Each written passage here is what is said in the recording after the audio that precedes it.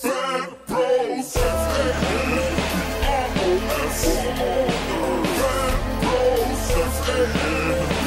Good morning, Citizen Venture. Welcome to the neighborhood. Pack your bags, White. We're going to New York City.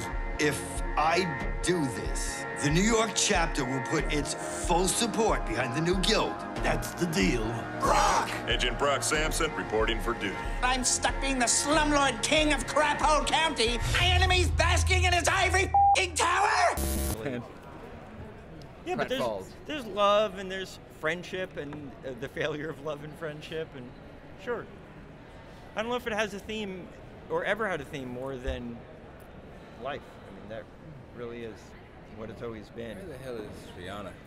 Where's Trianna? Right. You're gonna talk about love, you know. That was just that was a that was a crush from his childhood. Yeah. There's no love there. I mean, True. it it, it, would always just wanted it would have been nice to get some like some fevered hand job to put a nail in that coffin, so you wouldn't have to like think about it. But I, I, I wonder if it'll be anything more than That's true. When you were in college, did you still talk to like the cute girl who lived three doors down from you? Like, no. Yeah, no. you, uh, you moved on. Because the show's about life. I, I agree with that. I'm thinking more about. I just love the idea that uh, the other girl whose name I don't know wanted to like become a villain, and I always just wanted to see what happened. Kim? Like I can see her like Kim. as an intern. No one will ever forget her. Doctor Mrs. the Monarch having like a little intern, and she's like trying to Yeah. learn how to be a villainess. Right, Like, that right. just it's she was an hilarious to attractive character. She is a female in an otherwise female-less universe that we've created. Right. So you kind of cling on to that. She got uh, approval from Hank Dean, And Dr. Dr. Girlfriend, and Trianna. So she has this pedigree, and she was yeah. I don't know why she became. For years, we heard so much about. Well, and she this spoke character. her intent out loud. She's like, "I'm gonna become a supervillain." So everybody's like, Exactly. "All right, we're gonna develop that When's story." that gonna right? happen? No, No. We're gonna develop the story of the two snipers from opposite sides. Yeah. we're, more we're gonna end the season on that cliffhanger. yeah. More important. it's true. It's true. Well, when you- set something up of I'm going to be blank, then Yeah. it, you can write that one in your head. You don't need us anymore. Yeah.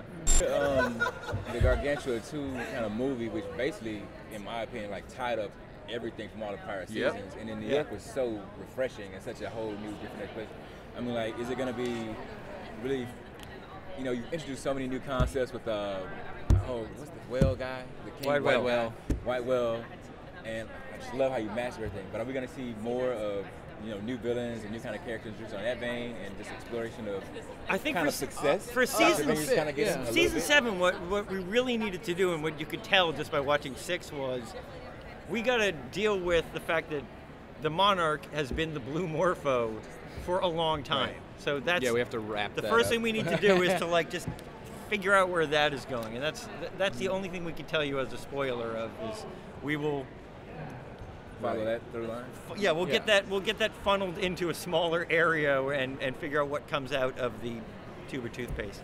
That's a like a mixed metaphor that doesn't make any sense because I had a funnel and then I decided at the end toothpaste. But you have to probably put toothpaste in through a funnel, I would feel like. Yeah. In. In my head, I was thinking, and the toothpaste that comes out is peanut butter, and we can put it on a cracker and feed it to America.